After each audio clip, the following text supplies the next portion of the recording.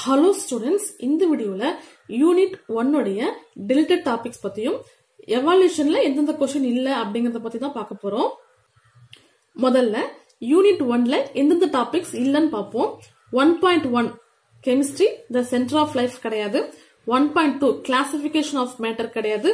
One point two point one physical classification of matter கிடையாது. One point two point two chemical classification கிடையாது.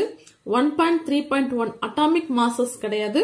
One point three point two வந்து molecular mass கிடையாது.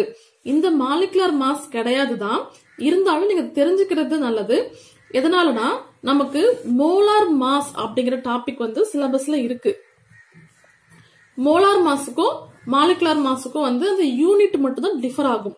சம்ம பொறுத்தவரையும் புக்ல இந்த மாலிகுலர் மாஸ் எப்படி போடுறாங்க அப்படிங்கறத வந்து டீட்டெயிலா எக்ஸ்பிளைன் பண்ணிருப்பாங்க.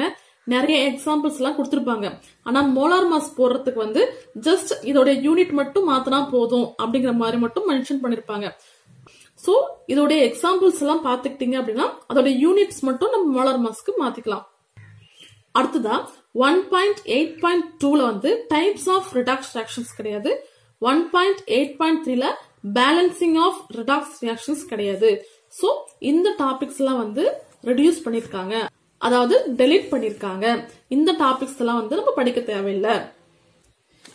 எவால்யூஷன்ல எது எது டெலிட்டட் கொஸ்டின்ஸ் அப்படின்னா சூஸ் த பெஸ்ட் ஆன்சர்ல செகண்ட் லெவன் டுவெண்ட்டி ஃபிஃப்த் அடுத்தது write brief answer to the following கொஸ்டின்ஸ்ல twenty six thirty four forty four forty five இந்த நாலு கொஸ்டின் கிடையாது. மற்றது எல்லாமே இருக்கு.